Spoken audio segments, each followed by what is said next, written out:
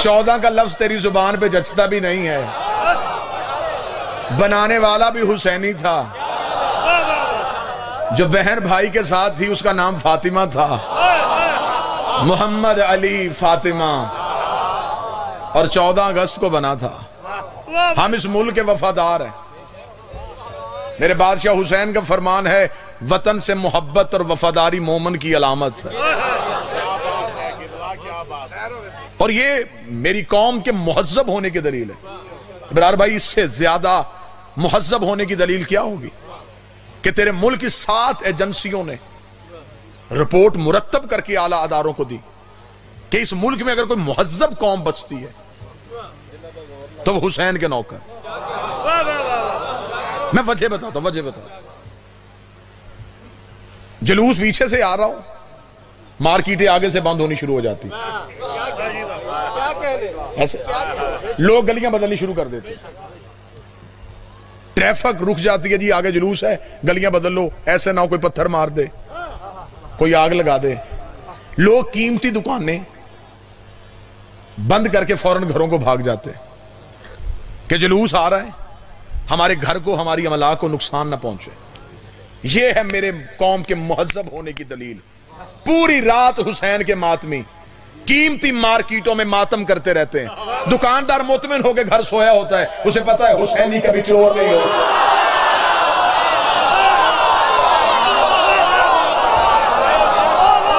उन्हें पता है। ये वतन से वफादार है। ये मोहब्बत करने वाले। मैं मुल्क के हर मेंबर पे कह रहा हूँ। बार बार कह रहा हूँ। सारी ज़िंदगी तुम्हारी आखिरी टेक का नाम अली है। तुम्हारे भरोसे का नाम अली। हम इतने ज़्यादा जब बैठे होते ना जी हम आपस में तो हमें एक दूसरे की कदर नहीं होती। पता तब चलता है जब हो तनहा, और फिर कोई आपके सामने आपके मज़हब की तारीफ़ करे। लुत्फ फिर दुबाला हो जाता बादशाह हुसैन ने इज़्ज़त दी है इसी मिंबर के सदके, वरना ना अपना नाम, ना अपनी शनाख्त। हम लोगों की शनाख्त है तो हुसैन के ज़िक्र की वजह से। पहचान है तो हुसैन के ज़िक्र की। इसलिए तो हम अपने सब दोस्त जाकरीन से कहते हैं इस मिंबर के साथ मुखलस रहना। फौज को महीने में तनख्वाह मिलती है। हुसैन हमें दिन में सात सात दफ़ा देता है।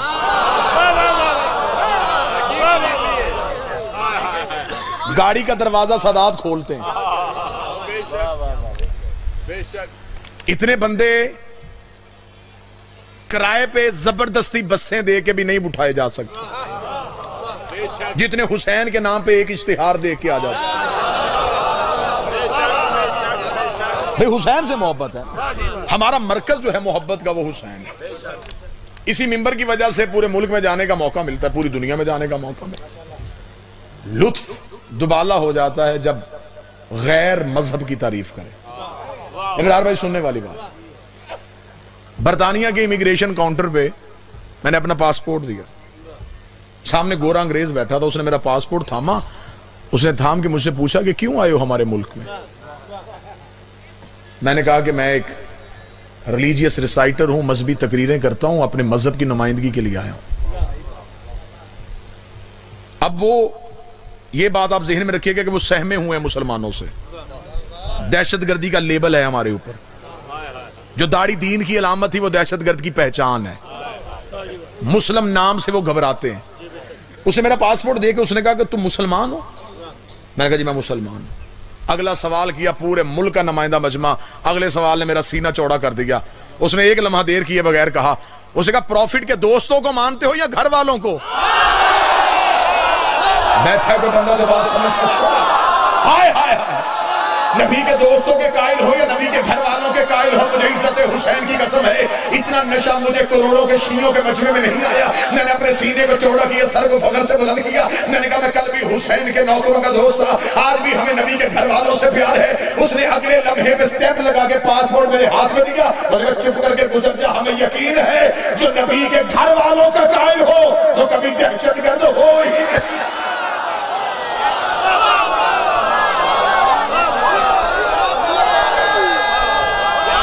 बिस्मिल्लाह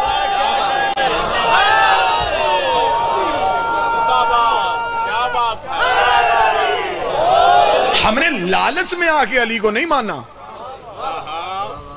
मेरी पूरा मजमा आखिर तक तायद करेगा। हमारे लालच का नाम अली नहीं, हमारे इश्क का नाम अली। जन्नत का लालच हमें अली से नहीं। अली ने जुमला कहा था, मेरे अल्लाह, मैं तेरी इबादत, तेरी जन्नत के लालच में नहीं करता। मैं तेरी इबादत तेरे जहन्नम के खौफ से नहीं करता। मैं तेरी इबादत इसलिए करता हूँ, तू लायक ही इबादत के। ये जुमला कहा था? अब हम डायरेक्ट अल्लाह से तो मुखातब नहीं हो सकते। मैं सलमान को वसीला बना के, अली की दहलीज पर सईदा करके कहता हूँ, या अली, ये आप ही का बनता था। आप अल्लाह से कहते या अली, हम तो सिर्फ़ आपसे कह सकते हैं। या अली, हम तुझसे मोहब्बत, जन्नत के लालच में नहीं करते। या अली, हम तुझसे मोहब्बत जहन्नम के खौफ से नहीं करते। हम तुझे मौला इसलिए मानते हैं, तू लायक ही मौला के।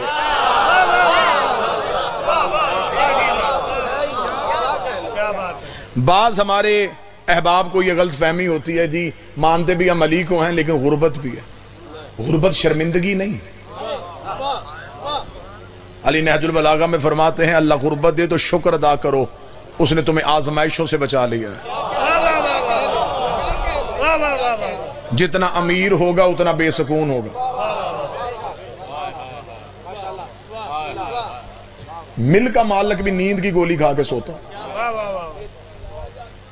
मोहसन शहीद ने कहा था, फुटपाथ पे सो जाता है, अखबार बिछा के। मजदूर कभी नींद की गोली नहीं खाता।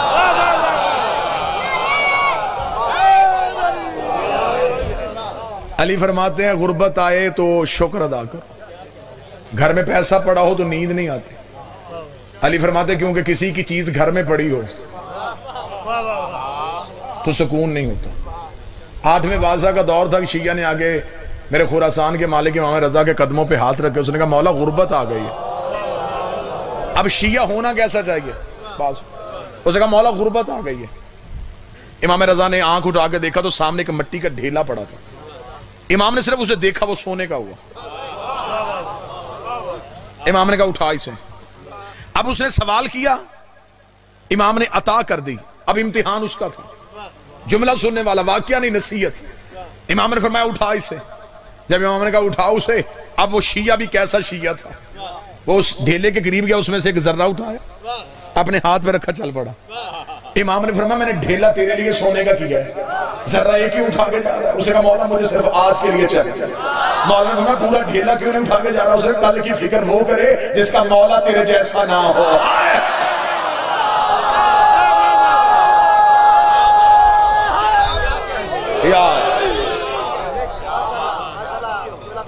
फख्र किया करो कि तुम्हारे इमाम का नाम अली है। हम सिलसिलाए इमामत के कायल हैं। हम दिन में तीन दफ़ा लाउड स्पीकर में ऊँची आवाज़ में कहते हैं, अशहद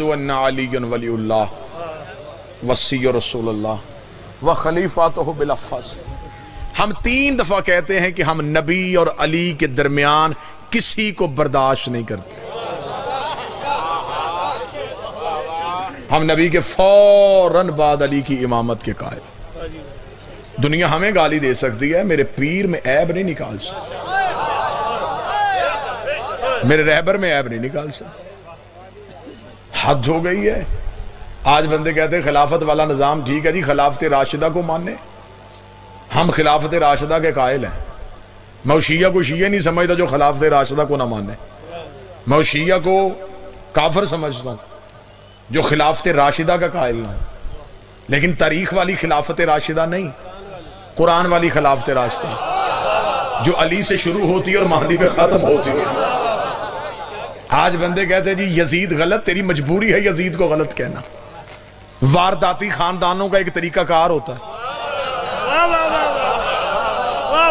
जब ये किसी केस में फंस जाते हैं कि एक बंदे से पेश करवा के उससे सारा जुर्म का एतराफ करवा के बाकी बंदे बचा लेते एक बंदे को पेश करते कि तू मान जा सब कुछ मैंने किया। लेकिन जब तफ्तीश चलती है फिर तफ्तीश करने वाले उसे सामने बिठा के पूछते हैं कि तू किसी के कहने पे मान रहा है। लेकिन तू अकेला नहीं। बता ये मनसूबा कहाँ बना था? ये तेरे हाथ में हथियार था, ये किसने दिया था? तुझे उस जगह तक पहुँचाने वाला कौन था? तुझे वहाँ से लेके आने वाला कौन था? जो दे के गया था वो भी मुजरम है। जो लेके आया था वो भी मुजरम है। आज तरीक और आग में इबन खलदून से लेकर डॉक्टर तहरुल कादरी तक हर कोई बंदा यजीद को पेश कर रहा है। सिर्फ़ यजीद पकड़ने बाकी छोड़ दे। यजीद पकड़ने बाकी छोड़ दे। यजीद के पीछे भी कई और यजीद थे। यजीद के पीछे भी कई और यजीद बैठे हैं। हमें सिर्फ़ इतना बता यजीद को यजीद बनाने वाला कौन था? किस सोच के तहत यजीद यजीद बना? बिस्मिल्लाह। आज उठ के खड़े होके कहते, जी, यजीद गलत, हुसैन सही। मैं आखिरी मिंबर से दावा करूँ और यहीं पे गुफ्तगु फजाइल के हवाले से खत्म।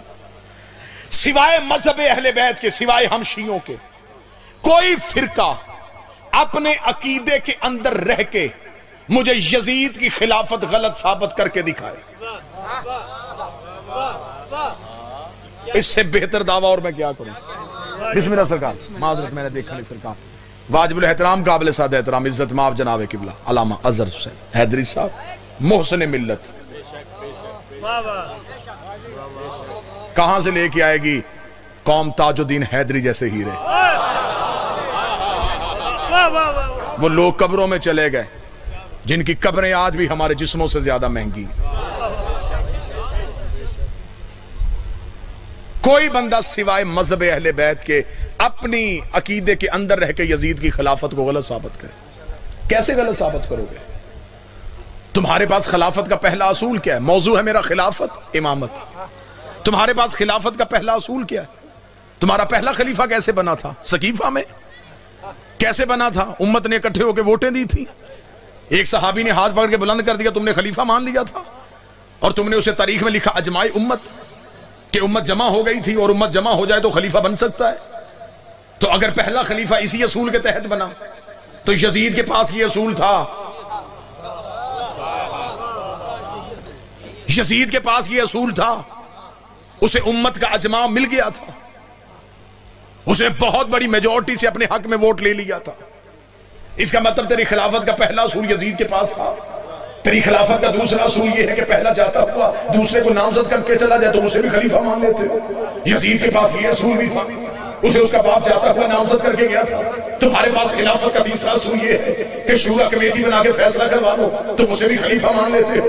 यजीद के पास ये असूल भी था। उसे कमेटियों से नहीं, उसे मुफ्तियों से फतवा ले लिया था। इसका मतलब है तेरी खिलाफत का पहला असूल यजीद के पास, तेरी खिलाफत का दूसरा असूल यजीद के पास, तेरी खिलाफत का तीसरा असूल यजीद के पास। आज मस्जिद के मौलवी से लेके मुफ्ती मक्का तक जो उठता है। तो मेरा हुसैन सही था यजीद गलत था, हुसैन ठीक था यजीद गलत था, तेरी मजबूरी है, हुसैन को ठीक कहना तेरी मजबूरी है यजीद को गलत कहना। तू सिर्फ़ हुसैन को ठीक ना कहे पूरे निज़ाम को गलत कहे, तू मान हुसैन ठीक था, अजमा गलत था। हुसैन सही था, नामजद करना गलत था। हुसैन सही था, कमेटी बनाना गलत थी। तू मान गदीर सही था, शकीफा गलत था।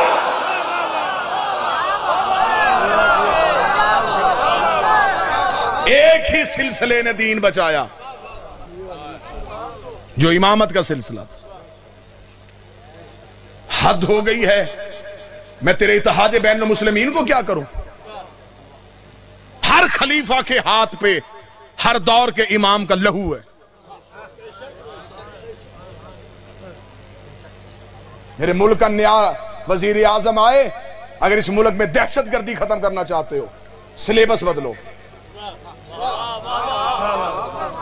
दीन याद बदलो।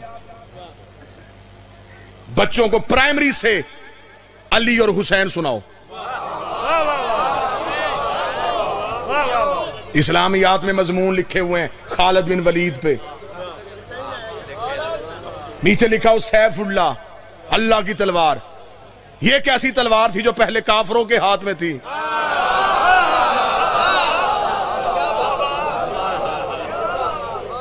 फिर हमारे सामने हज़ारों मजबूरियाँ रख दी जाती हैं। ये भी ना पढ़िएगा, ये भी ना पढ़िएगा, ये भी ना पढ़िएगा। तू मेरे मज़हब की छत गिराए, मैं तेरी इज़्ज़त करूँ? मैं तेरे इतिहाद को चाटूं? नफरत है मुझे उस शिया की आदत से भी, जिसकी नमाज़ फजल रहमान के पीछे भी हो जाती है।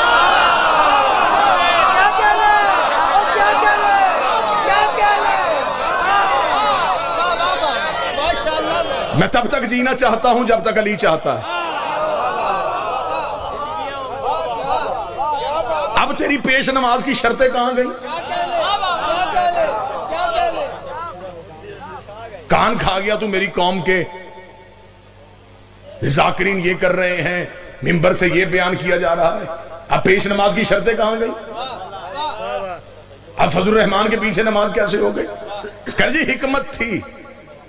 ये हिकमत तुझे फजल रहमान पे याद आई है अली की विलायत पे याद क्यों नहीं आती? पूरे इस अपर पंजाब का नुमाइंदा मजमा मेरे सामने जुर्रत के साथ जियो। इज़्ज़त के साथ जियो। शिया हो चार चीज़ें अपना सकते हो तो शिया रहो वरना कोई और मज़हब अपनाओ। अली उन वलीउल्ला ना छोड़ना। हुसैन का मातम ना छोड़ना। सैयद की तोहीन ना करना। और बतूल के दुश्मन की इज़्ज़त ना करना।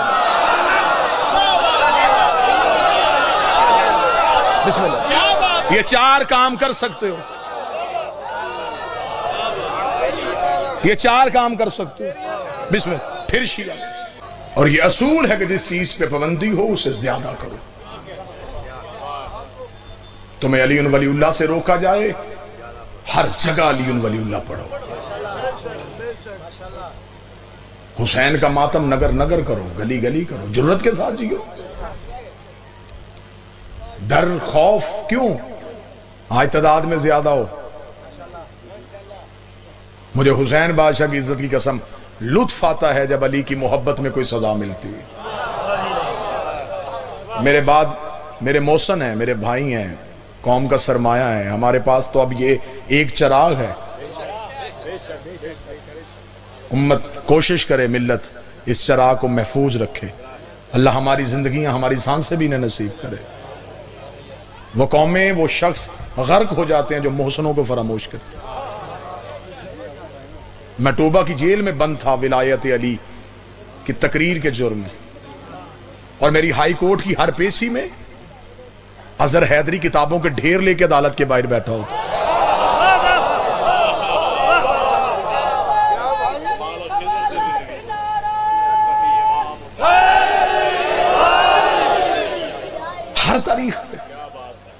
मेरे मुकला ने बाज दफ़ा इन्हें कहा भी कि जनाब, आप हर दफ़ा आने की जहमत ना किया करें। जिस दिन बहस होगी, हम आपको बुलाएँगे। इन्होंने कहा, नहीं, मुझे सुकून नहीं आता। अगर किसी तारीख में भी बहस हो पड़ी, मैं किताबें लेके आया हूँ, ताकि मैं अदालत में जाके बता सकूँ कि जिसम कैद हुआ है, अकीदा कैद नहीं हुआ।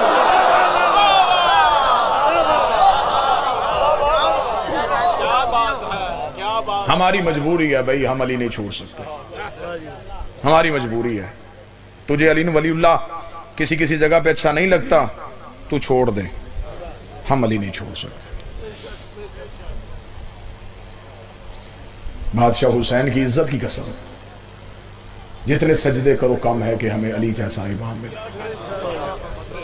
इसी विलायत को बचाती बचाती बेटी शाम के बजाय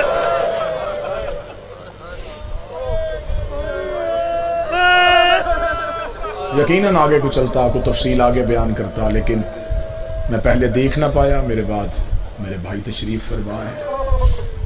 आज की मजलिस में वो बानी की हैसियत से शरीक है। फ़कीर सिफ्त इंसान है, मालिक ज़िंदगी दराज फरमाए। तू मातम करता है खुले हाथों से।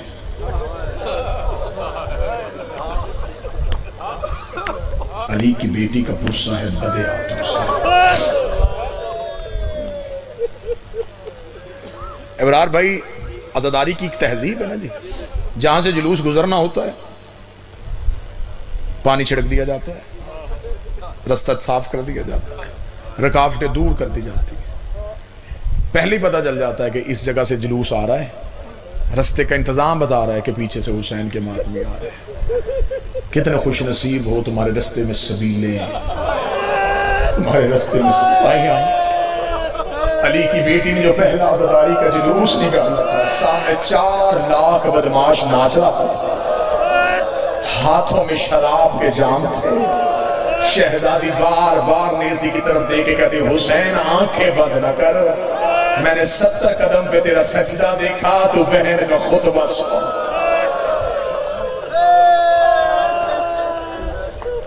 सदा तो गैर सदा से माफ़ी मांग के जिलहज का महीना है, मुसलमान याद मनाएँगे इब्राहिम के बेटे इस्माइल छुरी चली नहीं थी। हाजरा तड़प गई। रो कहते, इस्माइल, मुझे सिर्फ़ इतना बता, छुरी रखी कहाँ इस्माइल ने बटन खोल के काम में किताबें कहती, सात भोसे लिए इस्माइल की माँ ने। रोके कहती इस्माइल इसी दर्द के साथ माँ मर जाएगी, अगर छुरी चल जाती। कहाँ से तकाबल करोगे नबियों की माओ का करबलाओं की माओ के साथ? इब्राहिम की बीवी है, इस्माइल की माँ है, रो रो के कहती है, इस्माइल अगर चल जाती, इस्माइल अगर चल जाती, आ करबला में देख, माँ रो के कह रही थी, अकबर, तुझे अठारह साल बुरकों में। अकबर मेरी हसरत है, मैं तेरी लाश पे मातम। बस चार सतरे मुसीबत की जितनी आँखें भीग गई, जो आँखें भी खुश्क हैं, जिनकी फुरात बहने के लिए तैयार है। दो चार लफ्ज बयान करूँ ताकि बंधन टूटे और वो इश्क की फुरात बह सके। तेरी और मेरी, जनाब सैयदा की दहलीज पे सजदा माली कबूल करें। आधी रात के वक्त यजीद मलाउन ने तख्त पे बैठ के अपने सिपाही से कहा, जा, हुसैन के बेटे को कैद खाने से बुला के ला। आधी रात के वक्त सिपाही ने जिंदान के बाहर आके कहा, हुसैन का बेटा, तुझे हाकम ने दरबार में बुलाया है। इबरार भाई, अगली सतर में पढ़ूं और बाद में देखूँगा कि कौन बंदा जिसने सतर समझी, बुलाया चौथे को था, पांचवा भी साथ उठा। मजबूरी को सैयदों की इतनी बड़ी थी। चौथे ने अपनी कमर सीधी की, पांचवे के तलवे ज़मीन से उठ गए दोनों वक्त की हुज्जतें एक रस्सी में कैद मलाउन के दरबार में पहुँची। मौला सजाद की आवाज़ आई कमीने, पेशियों का वक्त होता है। तेरा जब जी चाहता है तू क्यों बुलाया तूने मुझे? ये कमीना देख के कहने लगा, हुसैन का बेटा, मैं चाहता हूँ मैं तेरी कैदें आज़ाद करूँ। जितने मातमी बैठे हो, अगली सतर सुनना, जब इसने कहा ना, मैं तेरी कैद आज़ाद करूँ, सजाद रो के कहते, मुझे बता, मैं जाऊँगा। रिहाई उसे अच्छी लगती है जिसका कोई लेने आया हो। मुझे बता, मैं कहा जाऊँ? ये देखे कहता, मदीने, मौला सजाद की आवाज़ है कौन सा मदीना जहाँ कभी अकबर होता था? जहाँ कभी अबल फजल अब्बास होते थे, तूने मेरा मदीने में छोड़ा क्या है? इसे कहा लेकिन मेरा जी है कि तू शाम छोड़ दे। अब जो मजमून सुन के रोने के आदि हो, माला सजाद की आवाज़ है, तू मुझे सिर्फ़ इतना बता, तू कहते आज़ाद कर क्यों रहा है? अब जो मातम कर सके एहसान करना। ये कमीना दे के कहता हुसैन का बेटा मैं डर गया हूँ। डरने का नाम आना सजाद कड़ियों में तरफ़ है सजाद रो कर तूने मोहम्मद का बेटा कत्ल किया, तुझे डर नहीं लगा? तूने अली की तस्वीर घोड़े से उतारी, तुझे डर नहीं लगा? तूने अब्बास बगैर बाजुओं के घोड़े से उतरवाया, तुझे डर नहीं लगा? मैं गैर सैयदों में अगला जुमला बोल के नहीं पढ़ूँगा, सजाद लोग कह रहे, तूने कुरान के खिलाफ नेजों से उतारे। तुझे डर नहीं लगा, तूने सूरज कौसर का चेहरा जख्मी किया।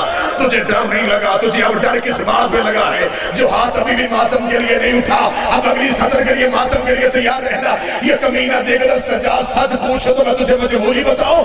सजाद इसे कब्रस्तान में दफना के आया है ना? उसकी रोने की आवाज़ें मेरे महल में आ रही है। मैं आधी आधी रात को उठता हूँ, कभी उस कोने में तेरी बहन रोती है, कभी इस कोने में तेरी सकीना। रो रो के। तेरी सकीना के रोने की आवाज़ें मुझे सोने नहीं सजाद मुझे डर है। मेरे ऊपर ये छत गिर जाएगी। तू शाम छोड़ दे। तू शाम से चला जा। मौला सजाद ने कहा, फिर फैसला मैंने नहीं करना। फैसला वो करेगी जो ज़िंदा इसने कहा, तू बेटा नहीं बादशाह की आवाज़ आई, मैं बेटा हो के वारिस नहीं, वो बहन हो के वारिस है।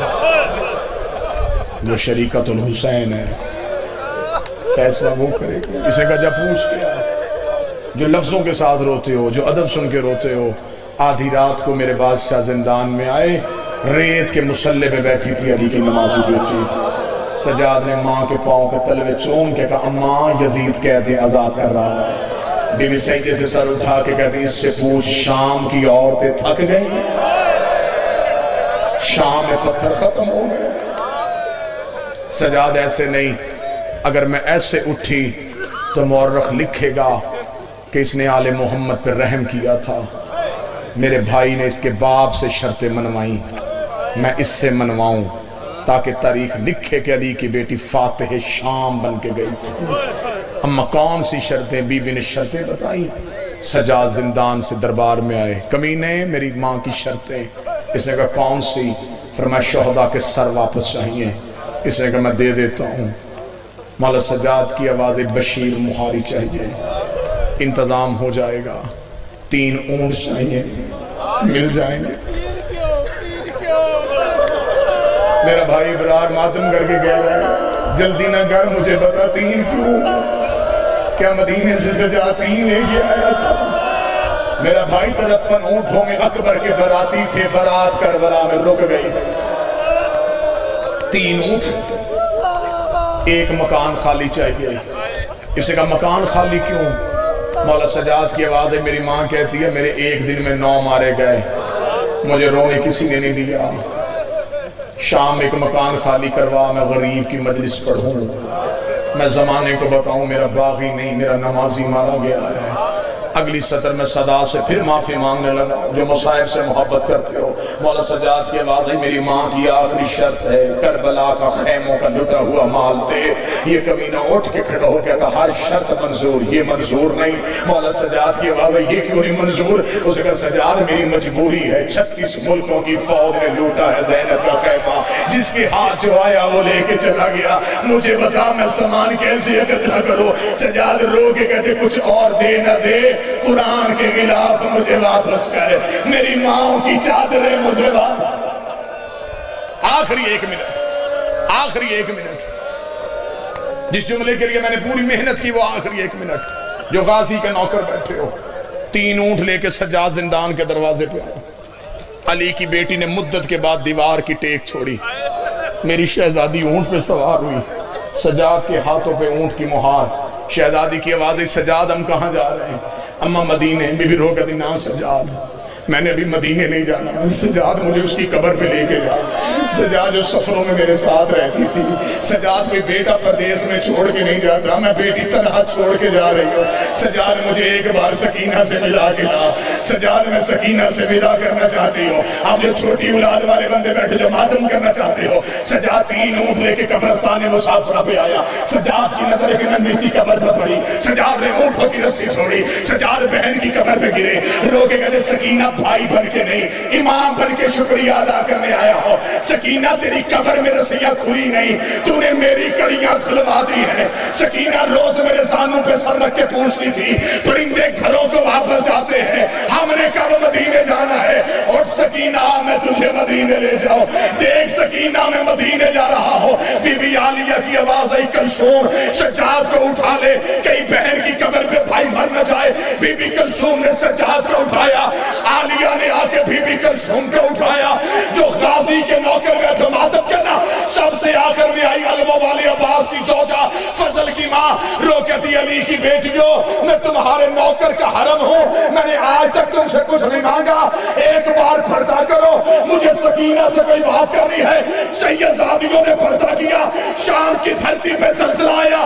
जैनब ने मुड़ के देखा, अब्बास की सोचा ने बुरके के नीचे से अब्बास का कटा हुआ सर निकाला, सकीना की कबर पे रखा। रोकनी बीबी नौकर माफ़ी मांगने आया है। बीबी पानी पानी लेने गया था। तेरा असगर प्यासा मारा गया।